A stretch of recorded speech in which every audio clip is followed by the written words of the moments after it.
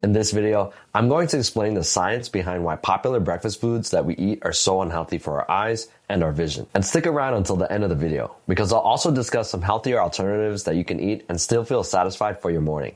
By the way, I'm Dr. Michael Chua. I'm a board certified ophthalmologist and I make videos to help you see better, look better, and feel better too. Okay, so let's first understand why some foods can be so harmful to our vision. Certain foods, particularly processed foods with lots of added sugar, can cause the levels of glucose in the blood to rise. These high levels of sugar in the blood can hurt the tiny blood vessels in our retinas.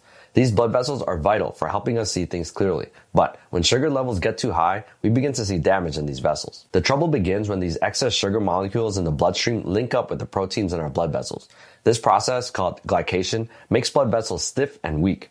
And as our blood vessels lose their strength, they can't control blood flow properly. This can lead to a problem called diabetic retinopathy, where abnormal blood vessels start growing. To fix the poor blood flow, our eyes make a protein called vascular endothelial growth factor, or VEGF, which promotes the growth of new blood vessels. But these new vessels are weak and friable. They tend to leak and bleed easily. Now here's where things get bad for our vision. The leaking blood and fluids cause the retina to swell up. Plus, the fragile new blood vessels can break, pouring blood into the vitreous or the clear jelly inside the eye. This not only blocks vision, but also harms the sensitive cells in the retina. As time goes on, all this damage builds up and it can cause vision to get worse and worse. If nothing is done about it, it can lead to blindness. Not only do high sugar levels cause damage to the retina or diabetic retinopathy, but they also cause an increased rate of cataracts and glaucoma. And I wasn't really aware of how harmful some of our breakfast foods were until I started wearing a continuous glucose monitor. Continuous glucose monitors are these small devices that you stick onto your skin, usually your arm. There's a sensor that goes underneath your skin and it gives you constant readings of your blood glucose. I have a family history of diabetes, so I sometimes use these glucose monitors to see if my blood sugar levels are okay. One thing I noticed when I first wore a glucose monitor was how high my blood sugar would spike after eating certain breakfast foods. Sometimes I would see my glucose skyrocket to the 180s or 200s.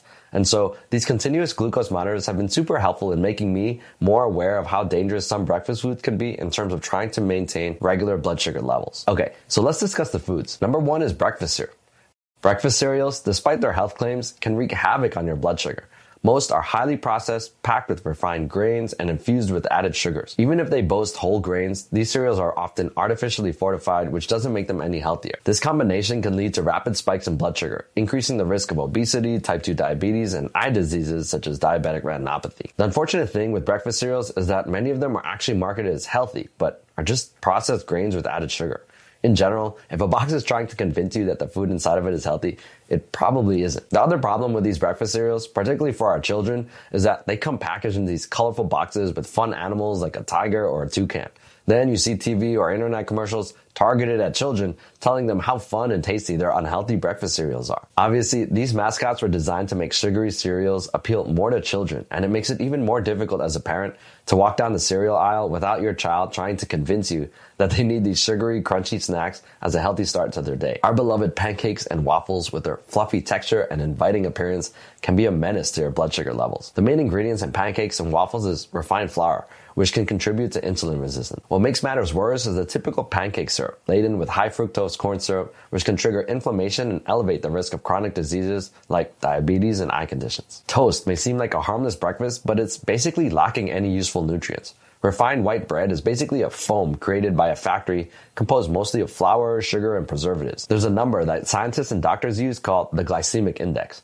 The glycemic index is a measure of how fast or slow certain foods can make our blood sugar go up after we eat them. Foods with a high glycemic index, like sugary cereals or white bread, make our blood sugar go up quickly. Believe it or not, the glycemic index of white bread is about 75, which is the same glycemic index as a bag of Skittles. So you might not know it, but Eating white bread may be sending your blood sugar soaring first thing in the morning. Muffins, often mistaken for healthy options, are essentially small cakes masquerading as breakfast items. They're typically constructed from refined flour, vegetable oils, and sugar with minimal nutritional value. Their oversized portions only encourage overconsumption and the potential for diabetes and eye problems. Fruit juice. Fruit juice is marketed as a health elixir, but it can be deceiving. Many commercial fruit juices are loaded with added sugars or high fructose corn syrup. They're basically cans of soda, but marketed as a healthy start to your day. And in reality, they're increasing your risk of obesity, type 2 diabetes, and eye conditions. Even 100% fruit juice, despite its natural origin, can result in rapid blood sugar spikes due to its absence of fiber. Sugary pastries are unfortunately some of my favorite breakfast foods. We're talking donuts, croissants, and cinnamon buns. The problem with these sweet treats, though, is that they have loads of added sugars that can raise your blood glucose. What's more, they often often come loaded with saturated fats, a known culprit in the realm of heart disease. Before we go on to the next breakfast foods to avoid, I wanted to tell you about my Optim-Eyes newsletter. If you want science-backed tips on how to protect your vision and health delivered straight to your inbox, you can sign up for the Optim-Eyes newsletter at michaelchuamd.com. Okay, back to the food. Sweetened, non-fat yogurt may seem like a healthy choice, but it's often a sugar-laden trap. Some yogurts contain even more sugar than ice cream, while lacking the satiating effects of healthy fats. Granola bars, marketed as convenient snacks, closely resemble candy bars in terms of their sugar content and potential health impacts. These bars have a bunch of added sugars that can negatively affect our blood sugar and insulin levels, increasing the risk of diabetes and eye disorders. Their low protein and fiber content means that you'll probably still feel hungry even after eating a couple of them. Smoothies, often perceived as a healthy choice, can also be deceivingly high in sugar. While they offer the allure of fruit and added nutrients, by the time you add in ingredients like juice, frozen yogurt, and sugary milk alternatives, your smoothie will have a nutritional content more like a Slurpee rather than a smoothie. To enjoy a healthier smoothie, opt for whole fruits, unsweetened milk, and limit the use of frozen yogurt or sorbet. By being mindful of your smoothie ingredients, you can better manage your sugar intake and support your overall health. Okay, now that we covered some of the worst foods you can eat for your vision and blood sugar, let's go through some healthy alternatives. You'll notice that these foods are comprised of whole, real foods with minimal processing or added sugars. Hard boiled eggs are one of my personal favorites. I always keep a jar of hard boiled eggs handy in the fridge. When I'm in a hurry in the morning, I just grab two eggs and those keep me satisfied. I like to either sprinkle a little salt or soy sauce on them to make them taste even better. I usually just keep them in a Tupperware of diluted soy sauce so they're already seasoned by the time I eat them. Omelets are another great option. You can mix in some spinach and mushrooms into your omelet for a great and tasty breakfast. Another option I really like is any combination of avocados with eggs. You can either put an egg on top of some sliced avocados or smash up the avocados, or you can bake the egg and avocados together in a skillet. No matter how you do it, it's going to come out delicious and nutritious every time. Another great benefit of eggs is that they're densely packed with lutein and zeaxanthin, which are two nutrients that have been shown in several studies, such as the age-related eye disease study, to help prevent the progression of macular degeneration. Whole fruits are another option you can add to your breakfast. Yes, there are some fruits that are notorious for raising your blood sugar. Fruits like grapes, ripe mangoes, dates, and figs. But generally, whole fruits contain vitamin C, potassium, and fiber, which helps to block super quick absorption of sugar from your gut to your bloodstream. Some good options are apples, strawberries, and cantaloupe. So if you put the whole list together and zoom out, you probably notice a trend here. Let's summarize with a framework on how to optimize your breakfast for your vision and health.